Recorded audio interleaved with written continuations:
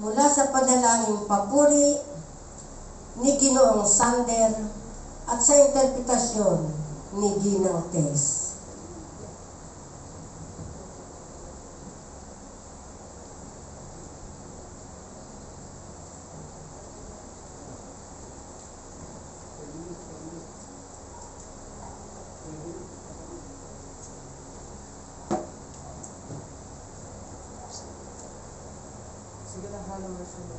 Sa inyo na naririto,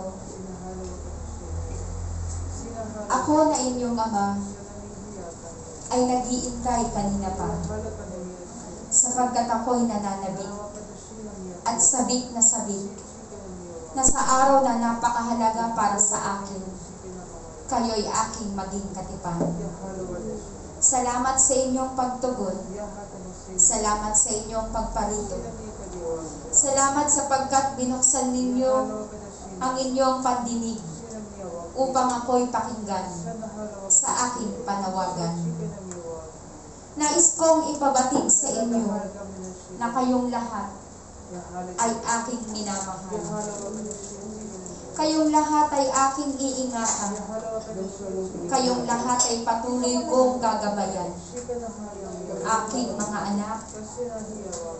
magsipagpanalangin kayo sapagkat ang buong bayan ay mayayanig. Tibayan ninyo ang inyong pananalangin. Ako'y naririto. Ako'y kasama ninyo. Sa aking panawagan, nawa ito ay inyong dinggin.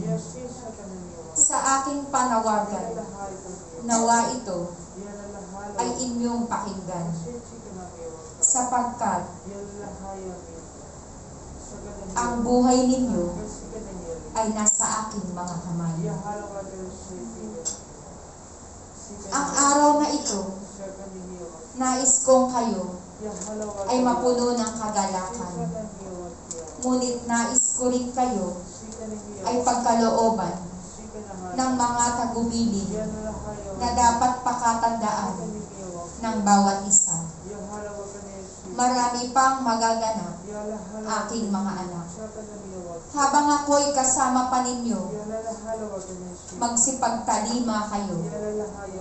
Habang ang tinig ko'y naririnig ninyo, magsipagsunod kayo upang kayo ay laging maligtas.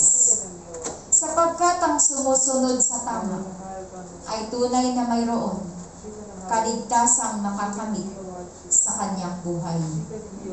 Aking mga anak, ang araw na ito ay aking kagalakan sapagkat naririto kayo at ang inyong mga handog ay aking kinalulugdan. Ang aking mga kamay ay magbabasbas sa inyong lahat, sa inyong mga handog at sa inyo na naririto.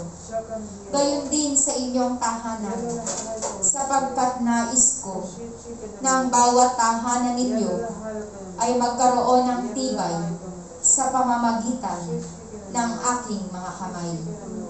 Mapalad kayo sapagkat taglay ninyo ang aking pangalan. Mapalad kayo sapagkat batid ninyo.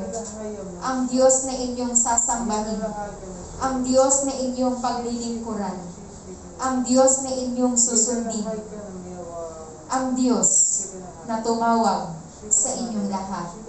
Ako si Yahweh, ako si Yahweh, ako si Yahweh, ang inyong kaligtasan magpakailanman.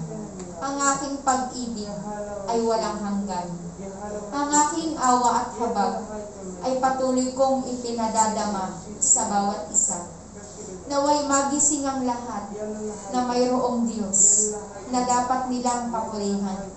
Naway magising ang lahat na mayroong Diyos na dapat nilang tawagin sa araw-araw.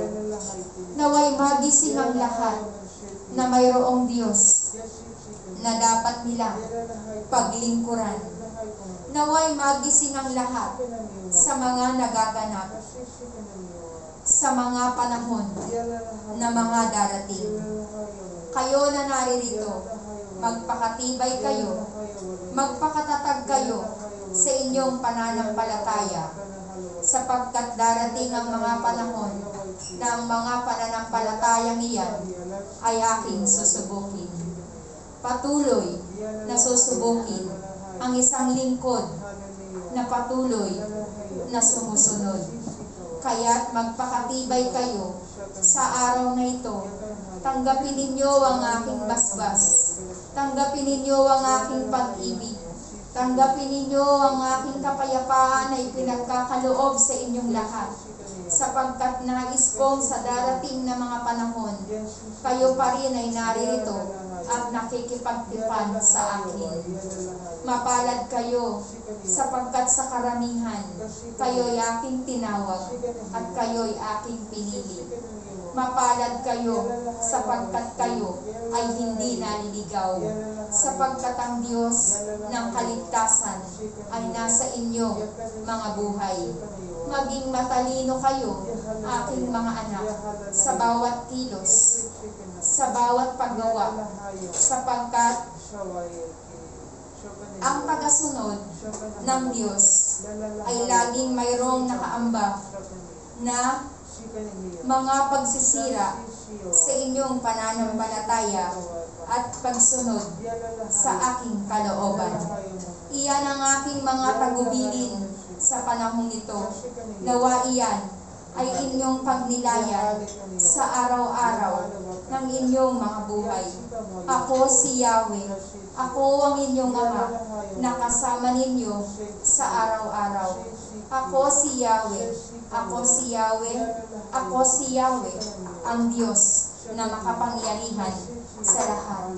Nais kong makita sa inyo ang inyong mga ngiti at hindi ang takot na mananahan sa inyong kalooban sapagkat ang mga ngiting iyan ang magpapatibay sa inyong pananampalataya at pagsunod sa aking kalooban. Kaya naman, aking mga anak, maging masaya kayo sa araw na ito, sapagkat ang araw na ito ay kagalakan na nagmumula sa inyong Ama. Maraming salamat sa inyong pagpalito. Maraming salamat sa inyong pagtugon, aking mga anak. Salamat.